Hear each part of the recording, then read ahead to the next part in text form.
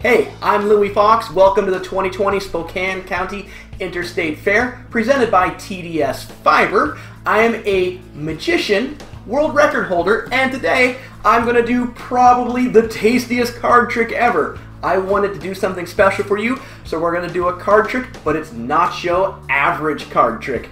Watch close. Watch close.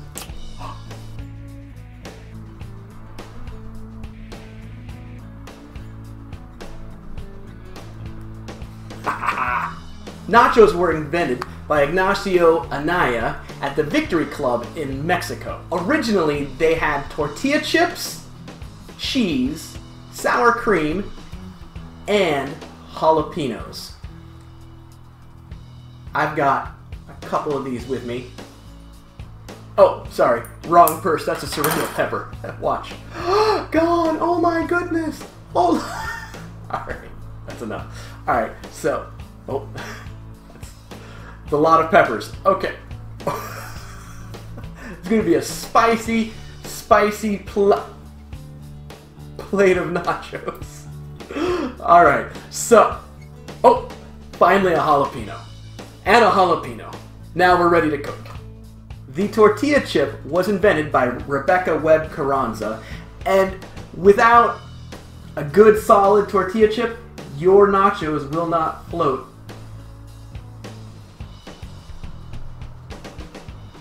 When compared to other ones. The next thing you need is cheddar cheese. I've got me a mini block of cheddar cheese. That's all we had. Hang on, let's try it this way. Watch it close. Mm.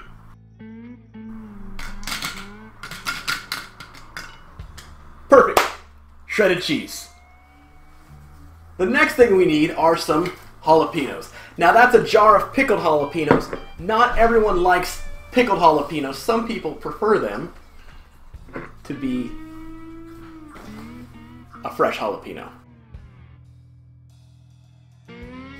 The last thing we need to make nachos is we need the sour cream. Okay? Uh, so I've got some milk here, and instead of going to the store, we'll do it this way. We'll make our own fresh sour cream. It just takes a little bit of this. Perfect. And, oh, we need some heat. I think uh, the pepper will work perfectly. Awesome. Spicy! And that gives us some delicious sour cream. And our nachos are ready.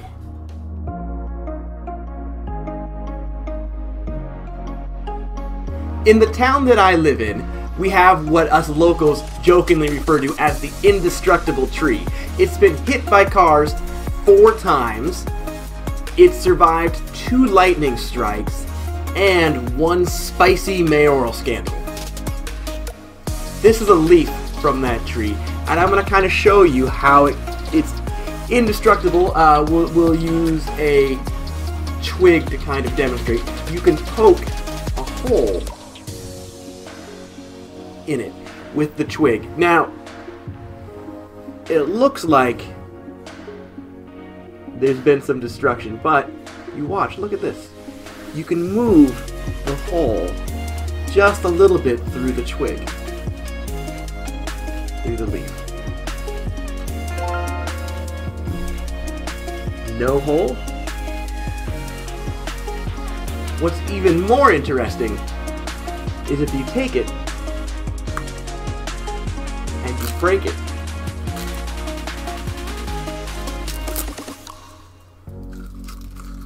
That leaf always, always turns back.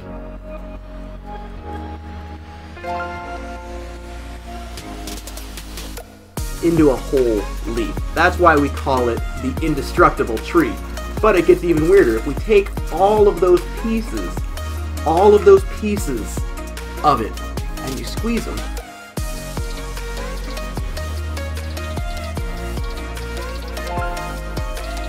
They disappear. They don't really disappear.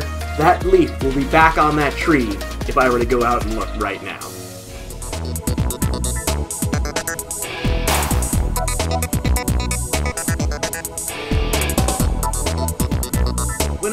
Park getting the leaf from the indestructible tree, I picked up a couple of twigs from the ground. Now, one of these I removed all of the bark from, and one I left it with all of its bark.